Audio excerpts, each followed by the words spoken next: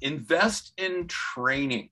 Now, training your brain is actually pretty easy to do in a very short period of time and give yourself a really amazing workout.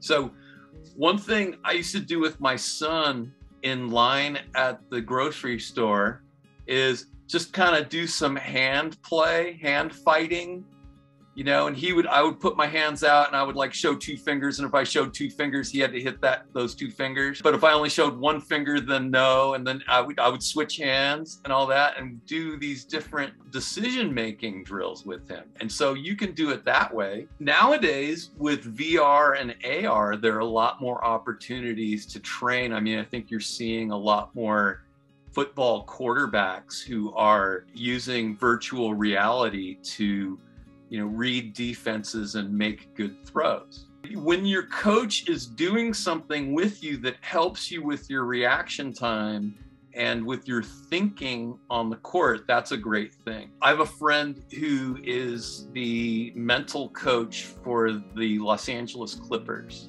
And one thing that she does with that team is she has the players imagine scoring millions of points all right. So, come up with some fantastical performance that's out of this world. It was before they had that big comeback win against the Warriors in the playoffs a couple of years ago. And she had just introduced this idea of scoring millions of points and they were down, I think, by 30 or something like that. It was one of the biggest comebacks in playoff history. They started to feel it. They really, they all of a sudden, everybody on the team got into this place where they couldn't miss. Here's one thing that's going to help. There's this thing called Brain HQ, and it's offered by something called Posit Science, P O S I T Science. It was developed by the aforementioned uh, Michael Merzenich and it's an app that you can get for free. And I'll tell you what, you do one five minute exercise and you know you've done something. And it's actually kind of funny. It's sort of like a little video game. And the thing that makes it so challenging is the better you do, the more difficult it gets very quickly. But if you start to struggle, it slows down a little bit and it takes you right to your challenge level. And man, I do one of those for about five minutes and, and I'm just like, oh man, I just got to work out. So you're going to want to take a break right after that. Uh, there's a book that I would say not only do you want to read it, but you want everybody you care about to read it. And it's called The Brain That Changes Itself. And if you're a coach, I strongly urge you to read this book, The Brain That Changes Itself, because it, it, it gets into all the different ways that the brain has amazing abilities to overcome various problems. So, one thing you may or may not know about me um, is that I have had uh, numerous um, brain traumas. So, I've had concussions from playing football, and then also two major car accidents where I had whiplash.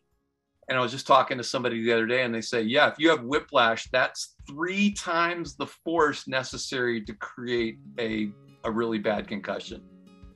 So if you have ever been in a car accident and had whiplash, I'm going to say 99% more chance that you've had a really major concussion. That's something that you need to, to pay attention to. There's a really funny thing, though, about changing your mindset. Invest in your training, in your mindset. So, you know, if if you're the kid like I've been the kid who talks back to coaches or who argues with teammates or thinks they're smarter than other people or amazingly entertaining. Change your mind. And the, it's funny, the word repent, which you you may have heard the word repent before, but you know what's funny about that word?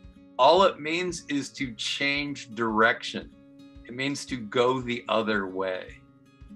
So right now, you can make a commitment to be the kid who pays attention the most and it might catch people off guard if all of a sudden you're changing your attitude and and going all out and paying full attention i'm guessing if you've tuned into this you're probably already in the top 10 to 1% on your team if you're here paying attention here.